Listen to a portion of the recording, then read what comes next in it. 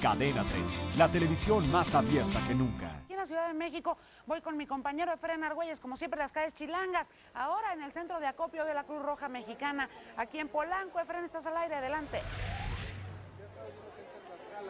Gracias, Yuriria. Buenas tardes. La emergencia continúa y esta tarde estamos en medio de un enorme tráfico, pero esta vez es tráfico de corazones, de todas aquellas personas que salen de casa, que salen de la oficina con toda la intención, la firme intención de apoyar a aquellas personas que han resultado afectadas, que han resultado damnificadas. Y es este largo asentamiento, Yuriria, de todos estos buenos corazones que están llegando sobre la calle Luis Vives en el perímetro de Polanco. Luis Vives número 200, todos van con destino hacia la central de la Cruz Roja Mexicana, como podemos observar las filas de automóviles, pero también observamos las filas por parte de los voluntarios que están llegando hasta este punto. Y precisamente, Yuriria, la respuesta es buena y aquí lo estamos confirmando, pero hay algunos artículos que no han llegado y son artículos básicos y muy necesarios. Mi querido Luis, nuevamente te saludo con gusto. ¿Cuáles son los aquellos artículos que no han llegado? Urgen para hacer el llamado a nuestro amable auditorio. Sí, buenas tardes. Bueno, lo que más nos hace falta en este momento ha sido el aceite, las lentejas ¿no? y el café, preferentemente en empaques pequeños para que puedan ser eh, instalados dentro de la eh, despensa que estamos armando en estos momentos. Vemos que la respuesta es excelente por parte de los capitalinos, aquellas personas que están apoyando. También el número de voluntarios, de personas, ¿es suficiente o también solicitan el apoyo por parte de las personas? Bien, siempre necesitamos manos, eso es cierto, aunque ya estamos eh, tratando de regular personas que han venido a donar su tiempo y esas buenas intenciones. Así que hemos establecido algunos horarios donde pueden ellos participar, que puede ser por la mañana hasta de las 8 a las 2 de la tarde y de las 2 de la tarde a las 7 de la tarde que cerramos el centro de acopio.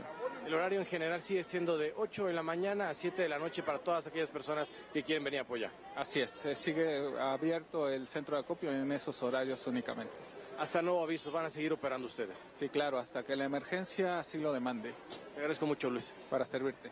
Lo tienes, Yuriria. Esta es la respuesta por parte de los capitalinos y en especial, Yuriria, para este fin de semana vamos a invitar a nuestro amable auditorio que tengan una lata de atún en casa, una bolsa de frijoles, una bolsa de arroz y 15 minutos de su tiempo, que hagan un pequeño esfuerzo por trasladarse hasta aquí, hasta la Cruz Roja Mexicana, ubicado en la zona poniente del Distrito Federal. Aquí está la respuesta y es buena, pero la emergencia continúa y el número de personas afectadas, por supuesto, continúan en espera de todo el apoyo que podemos realizar como capitalinos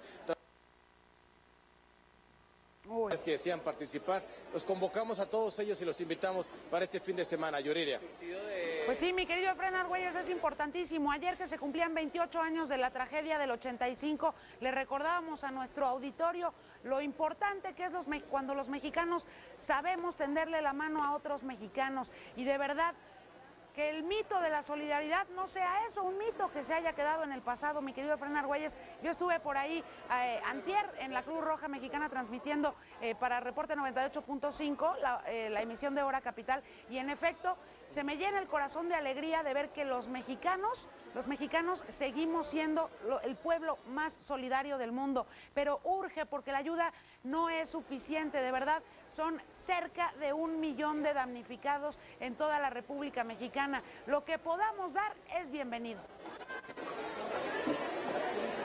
Así es, me querida Yuriria. Y este es un claro ejemplo, Yuriria, y me siento orgulloso de ver a este gran número de capitalinos. La respuesta es muy buena, pero la emergencia, la contingencia, el desastre aún continúa. Todo esto se va en cuestión de horas, pero comienza a quedar vacío, Yuriria, por lo cual invitamos a nuestro amable auditorio. Luis Vives, número 200, aquí en la zona de Polanco, la central de la Cruz Roja Mexicana. Para usted que está en casa, que está en la oficina, necesitamos de su apoyo para seguir apoyando a aquellas personas que están en las azoteas de la casa, que están pasando un mal momento. Es momento de apoyarlo a ellos, ellos están en espera y este fin de semana es la clave para que llegue todo este apoyo, toda esta ayuda, Yuriria. Muchas gracias, mi querido Efraín Argüelles.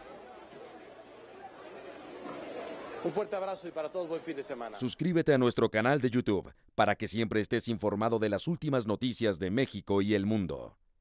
Empieza ahora mismo dándole clic a estos videos.